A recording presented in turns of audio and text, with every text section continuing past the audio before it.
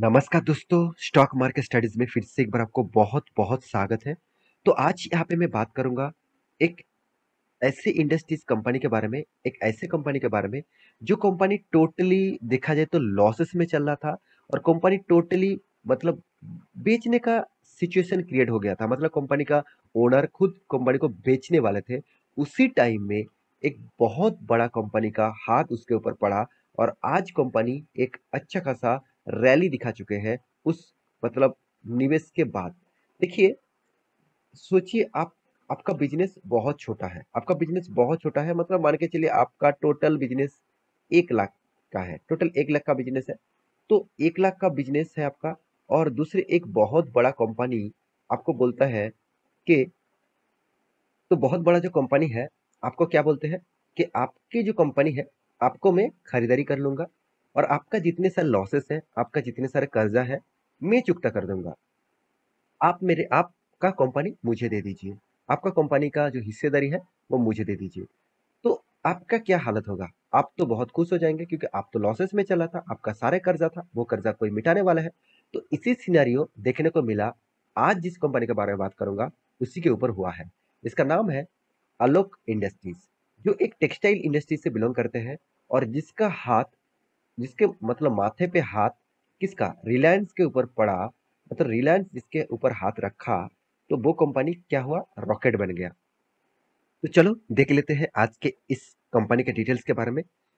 तो सबसे पहले मैं बात करूँगा मुकेश अंबानी जी के बारे में।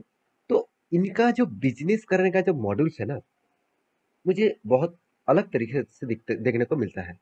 क्योंकि इसका मॉड्यूल से मुझे भी बहुत कुछ सीखने को मिला और इनके बिज़नेस करने का जो स्ट्रैटेज है, उसको फ़ॉलो करके मैं इन्वेस्ट भी करता हूँ।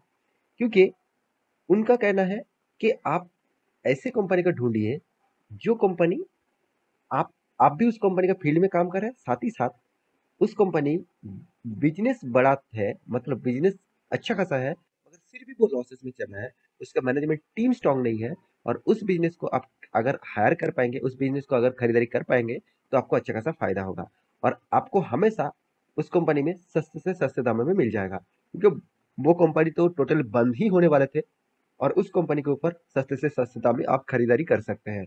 तो इसीलिए आप देखेंगे आलोक इंडस्ट्री जैसे कंपनी में देखिए जब कोविड आया था, कोविड के सिचुएशन के कारण स्टॉक में किस तरीके से गिरावट हुआ, उसके बाद देखिए कंपनी का प्राइस कितना चला गया था, करीबन चार रुपीज़ के आस-पास और उसके बाद जब रिलायंस के हाथ पड़ा, तो देखिए रॉकेट जैसा स्टॉक भागा, रॉकेट। 4 रुपीज़ का शेयर कितना चला गया? 60 रुपीज़ के आस-पास। तो सोचिए लोगों ने कि किस तरीके से यहाँ पे भर-भर के पैसा कमाया। करीबन-करीबन आप देखेंगे 15 गुना से भी ज़्यादा रिटर्न कमा चुके हैं। 15 गुना, तो सोचिए 15 गुना मतलब कोई लोग एक लाख रुपया निवेश करके रखे थे, तो 15 लाख तक कंपनी आपको रिटर्न दे चुके हैं। तो इसका मतलब अच्छी कंपनी में निवेश करना हमेशा अच्छा होता है। तो कहने का मतलब है क्या इस कंपनी अच्छे बन चुके हैं? क्या इतने बड़े कंपनीज़ इस कंपनी को खरीदारी कर चुके हैं? मतलब रिलायंस जैसे कंपनी आलोक इंडस्ट्रीज़ को खरीदारी कर चुके हैं। क्या इस कंपनी फ्यूचर में एक बहुत बड़ा मल्टी बैगर कंपनी बन सकते हैं? तो चलो उसके ऊपर कुछ पैरामीटर्स आपको दिखा देता हूँ।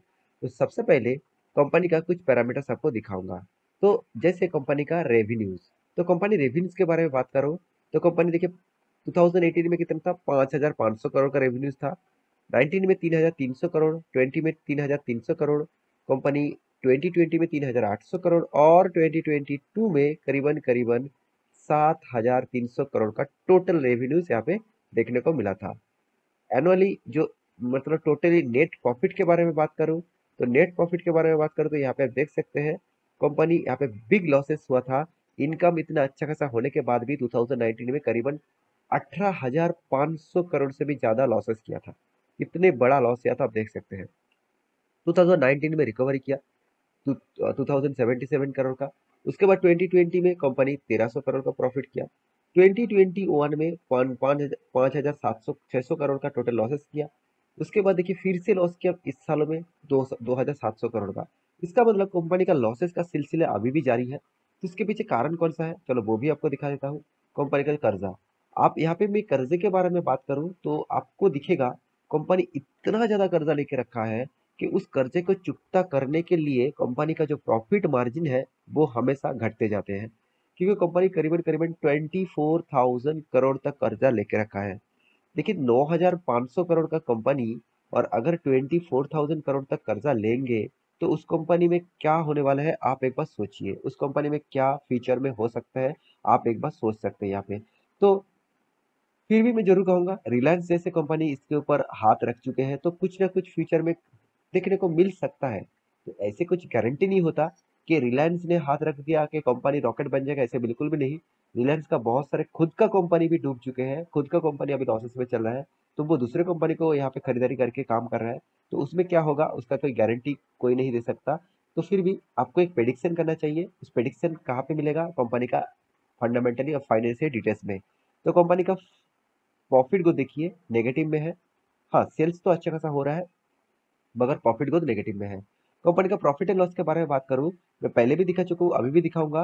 कंपनी देखिए सेल्स ग्रोथ कंपनी ऐसे नहीं कि सेल्स नहीं किया कंपनी बीच बीच में तो बहुत शानदार सेल किया था, करीबन 21 करोड़, इक्कीस हज़ार करोड़ का करीबन पच्चीस हज़ार करोड़ का, बारह हज़ार, तेरह हज़ार, आठ हज़ार, पाँच हज़ार, इस तरीके से करोड़ का टोटल कंपनी सेल्स किया था। मगर इतना सेल्स होने से भी कुछ फ़ायदा नहीं है।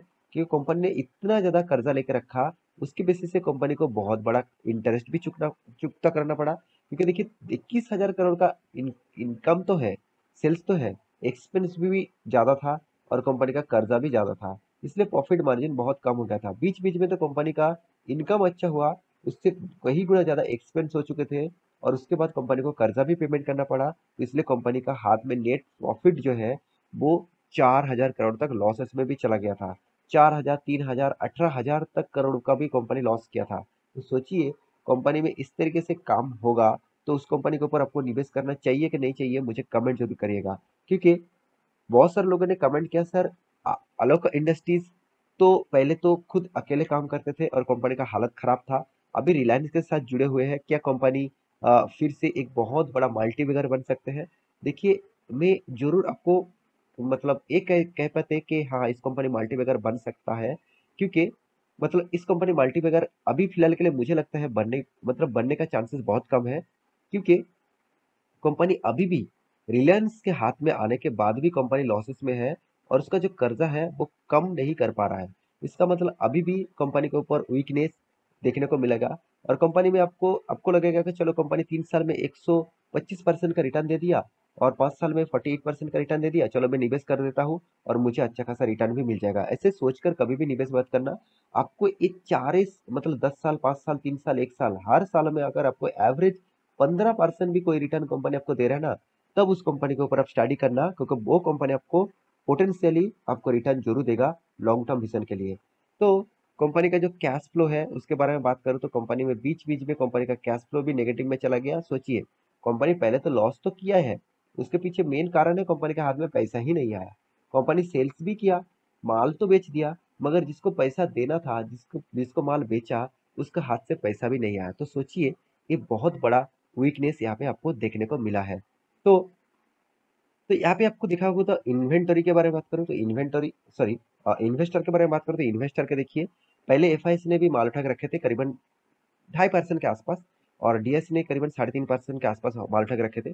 अभी देखिए एफ़ और डीएस के पास जो हिस्सेदारी है, वो एकदम ना के बराबर है। और पब्लिक के पास जो हिस्सेदारी है, वो एटी थ्री परसेंट होल्डिंग था, अभी ट्वेंटी टू परसेंट होल्डिंग है। और प्रोमोटर के पास नौ परसेंट होल्डिंग था, अभी सेवेंटी फाइव परसेंट होल्डिंग है। तो इसका मतलब यहाँ पर जो होल्डिंग का जो टोटल फिगर आउट है, वो टोटली यहाँ पे बहुत वीकनेस देखने को मिला। क्योंकि आप कहेंगे, सर प्रोमोटर के पास तो बहुत ज़्यादा होल्डिंग है। तो प्रोमोटर कौन है? आप तो मैं पहले ही बता चुका हूँ, इसका प्रोमोटर कौन बन चुके हैं। आप सभी जानते हैं रिलायंस रिलायंस इंडस्ट्रीज़ के पास ही इसका हिस्सेदारी, जब 2020 में इसका हिस्सेदारी लेना स्टार्ट कर दिया, तब इसका देखिए प्रोमोटर तो पूरा का पूरा माल बेच ही दिया था। 2020 जून क्वार्टर में तो पूरा का पूरा माल बेच दिया था। उसका फ़ायदा किसने उठाया? उसका फ़ायदा रिलायंस ने उठाया।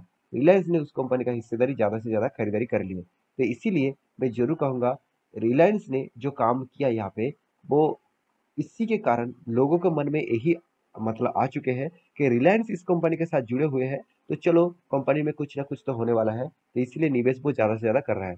मगर यहाँ पे देखिए एटी थ्री परसेंट पब्लिक भी होल्ड करके रखे थे। आज वो बाईस परसेंट क्यों हुआ?